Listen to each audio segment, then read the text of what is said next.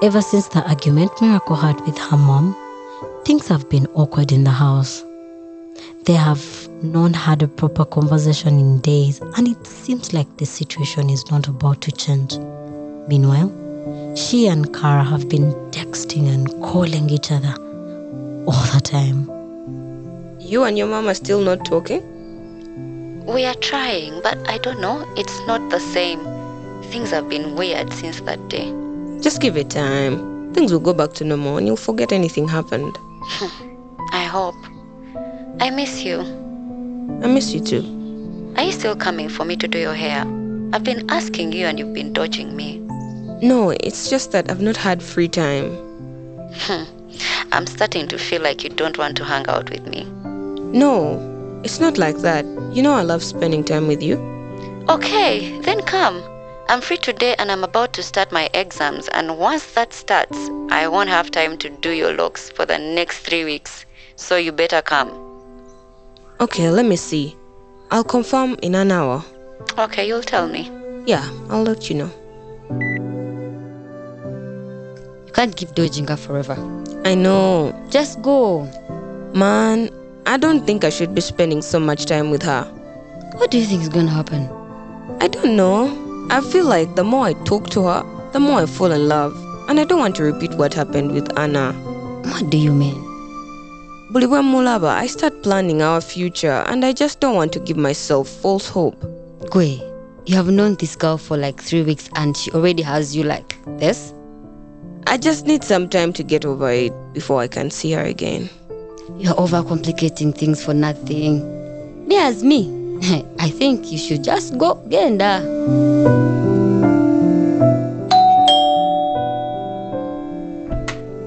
Hey, wow, this place is so big. It's like a castle. Yeah, people always say that, but I'm used to it now. Do I need to greet your parents? No, uh, the maid just left and my parents are at work. So it's just us. Do you want to eat something? No, not now. Are your parents fine with me being here? Yeah, I bring my friends here all the time. There's no problem. Wow, maybe it was just me with a strict parent. Are you serious? But I feel like allowing your friends to visit is a normal thing. Not at my home. Eh?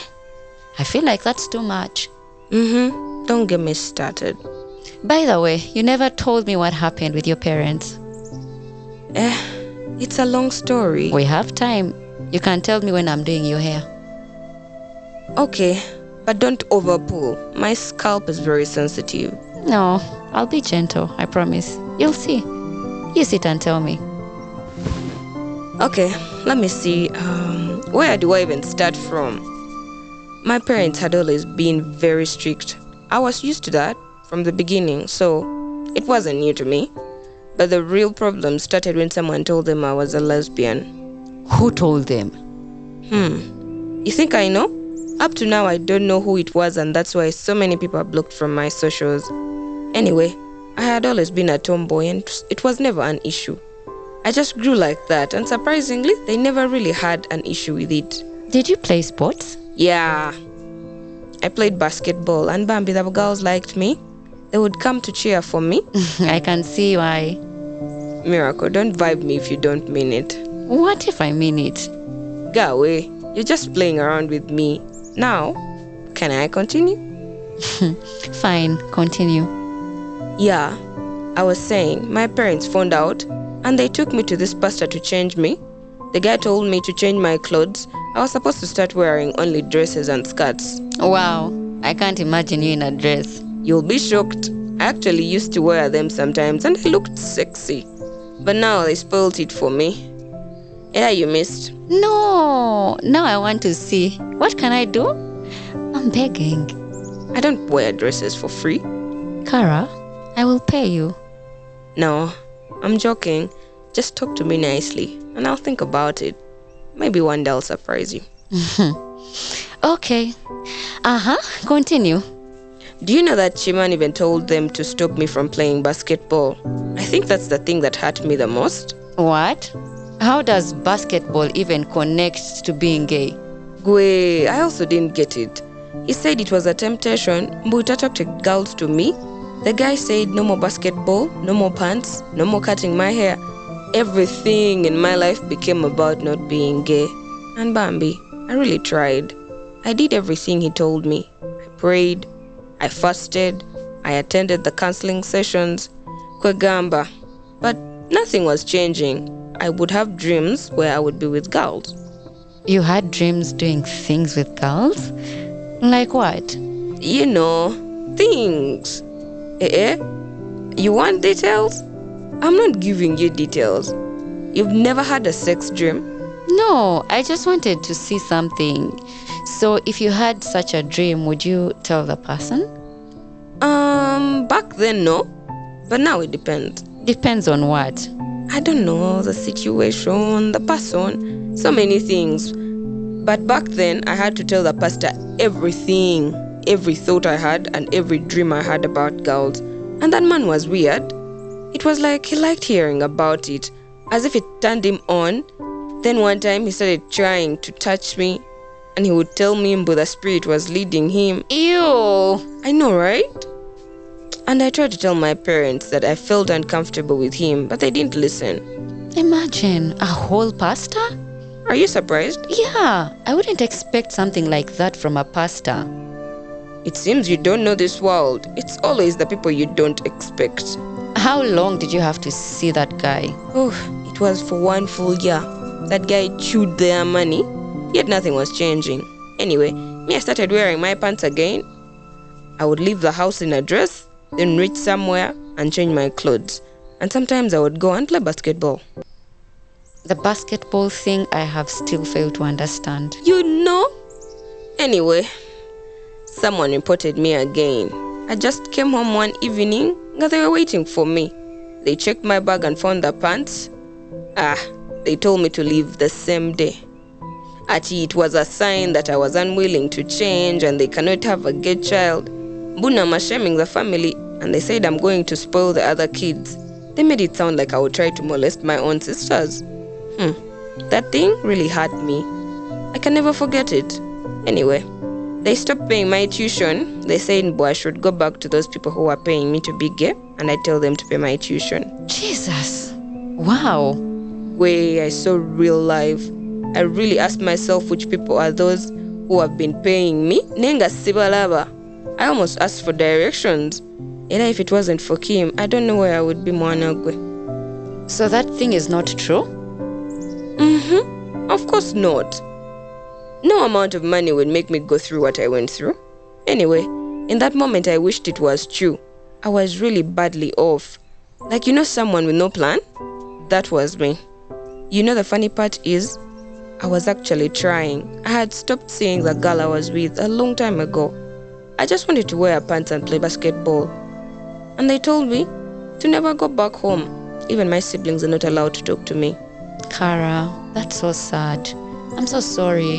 Yeah, my baby brother phoned me online and we were talking for like two months. Then he suddenly stopped. Baby brother? How old is he? He's like 15. But to me, he's always going to be my baby brother. I wish I had siblings.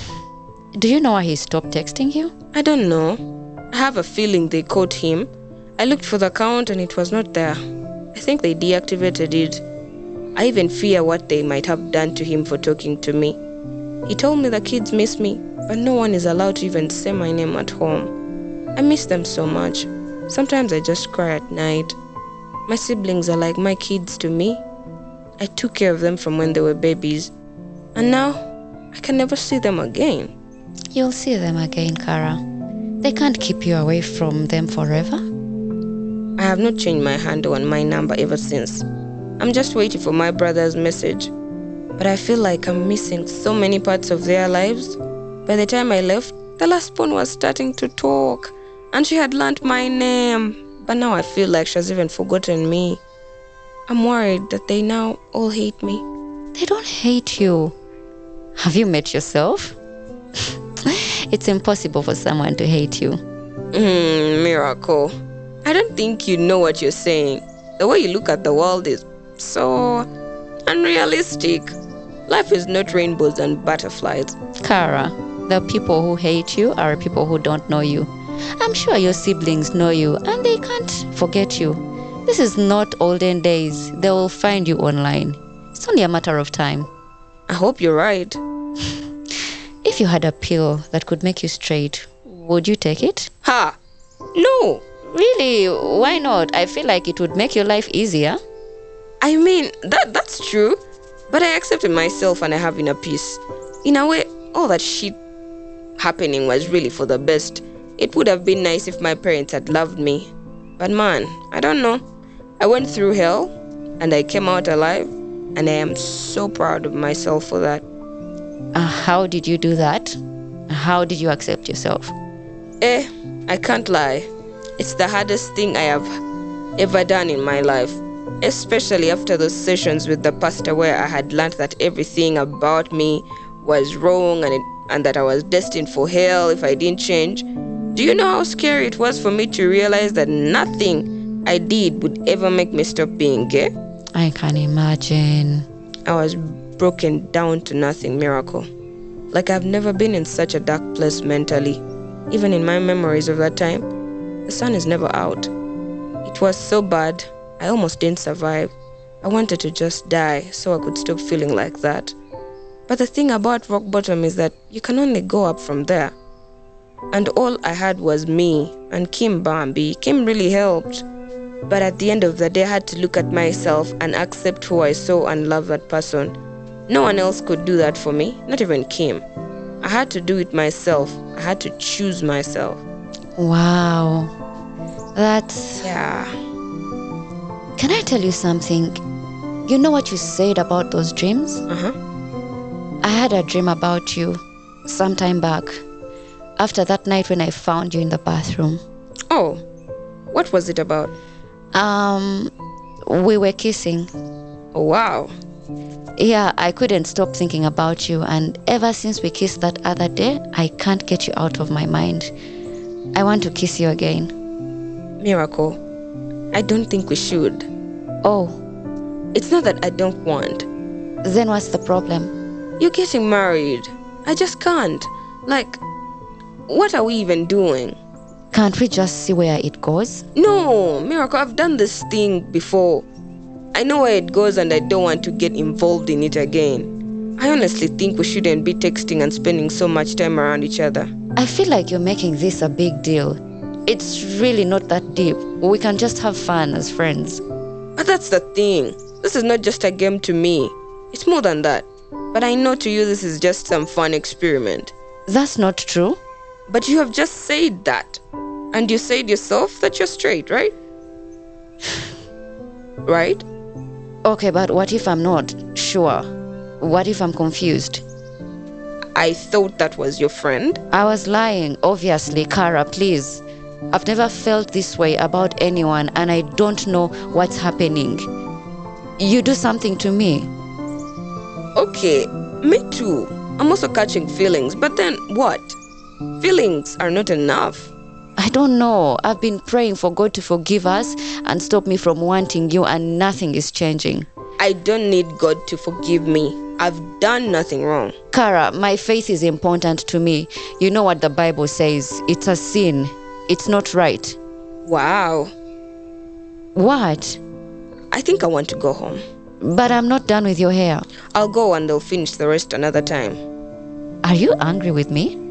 I'm not angry, Miracle, but right now, I feel like I'm making you a dirty sinner just by even being around you. It's like you didn't hear anything I said. Kara, I've not said that, but I'm just saying. You know what happened in Sodom and Gomorrah. What do you expect me to do? Look, Miracle, I get it. I understand. You really do not need to preach to me. Let's just leave it at that. What does that mean? Why are you standing up? I'm not done. Maybe we can just try to be friends. Normal friends, but right now, I need to go. Okay, then I'm asking you as my friend to stay and let me finish your hair. Please. We don't have to talk about it. We can just watch TV. Please, I'm almost done. Let me just finish. Fine. Thank you. Let me come. I need to get something from my room. Wait for me here. Don't leave. Okay.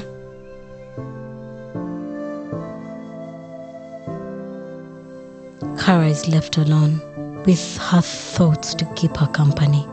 Her mind is racing. She considers just leaving while Miracle is gone, but she chooses to stay.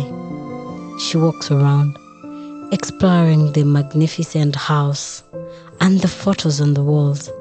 Miracle looks just like her mom, but she has her father's color and his smile. There are shelves of books and big expensive looking art around the whole place. The TV looks like it could pay Kara's rent for five months. She's still admiring the art when she hears the door opening. Kara, who is expecting Miracle, turns to see a lady with Miracle's face. Only she's older. This is the lady in the photos. Miracle's mother. She is surprised to find Kara in the house, and her surprise quickly turns into distaste. Good evening, ma'am. Good evening. So, who are you? My name is Kara. I'm Miracle's friend. And what are you doing in my house? Um, she's helping me with my hair. Um, and where is she? She went upstairs to get something. Mwana wange mwagaza ki? What? I know about you people. You have been recruiting people's children into those stupid mannerisms. So, what do you want with my miracle? Excuse me? Don't pretend like you don't know what I'm saying. I know about you. Oh, I've made you wait. I really looked for it and I wasn't seeing it. Oh, mom you're back. This is my friend Kara.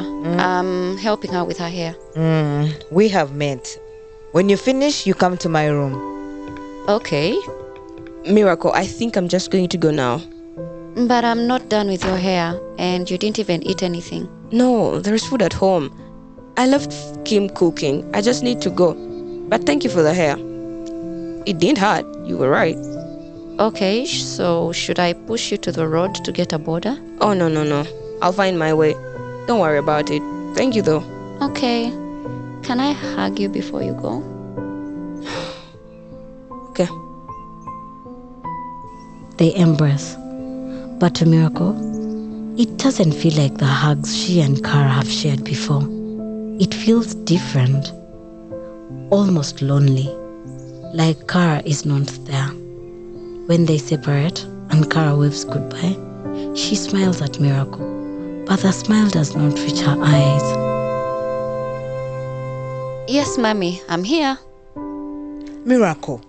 Anyoyo? Mom, I told you that was my friend. She's called Kara. Hmm. Lwaki ayambala bw'atyo? Ayagala kubeera nga basajja? That's just how she is. She's comfortable like that. I don't like you associating with such people. The scripture says, Do not be unequally yoked with unbelievers. I don't want to see you around her. You cannot fellowship with darkness.